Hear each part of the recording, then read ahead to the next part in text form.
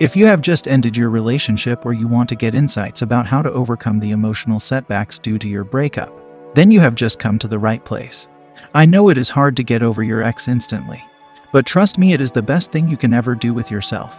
This is the most difficult period of your life, especially if you have split your ways into bad terms. I know what you are feeling right now.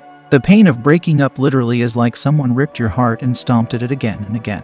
But what's more powerful is how fast you can recover from your sadness and move on with your life.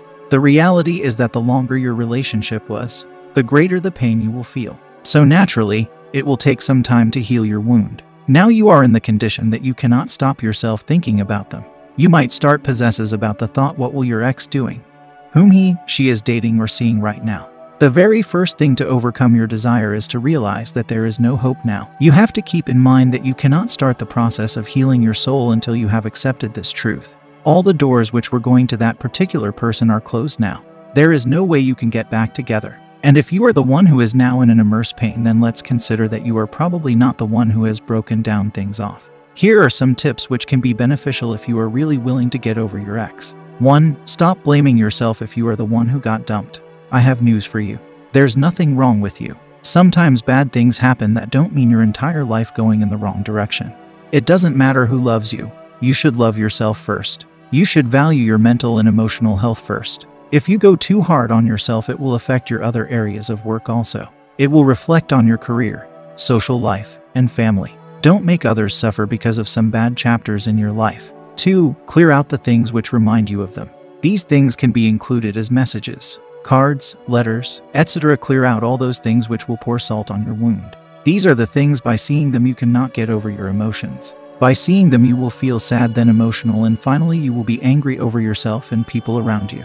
Those things are the memory maps to the other person, and it will lead to recall the memories when you both were together. You will blame yourself, and it could be the start of your psychological imbalance in your life. So, get rid of the things that remind you of them as soon as possible.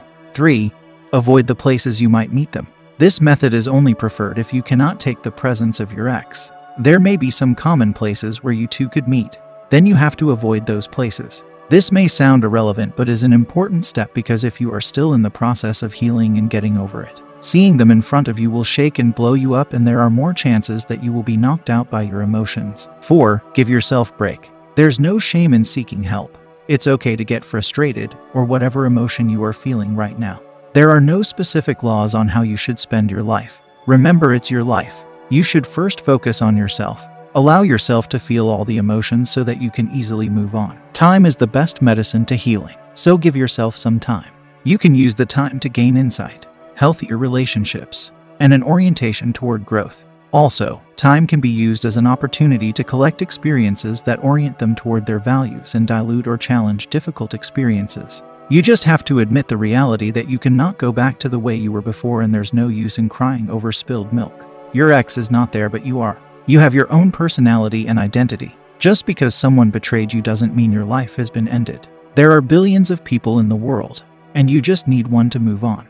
Change your mindset, then everything around you will change. 5. Think of the future possibilities. Now you have no chains of relationship or responsibilities on your feet. There are amazing chances waiting ahead for you. If you are a student, concentrate on your studies, take your classes, spend a lot of time with friends. You can work on your career, give time to your job or business, earn a lot of money. Focus on your plans which you couldn't fulfill because of your ex relationship.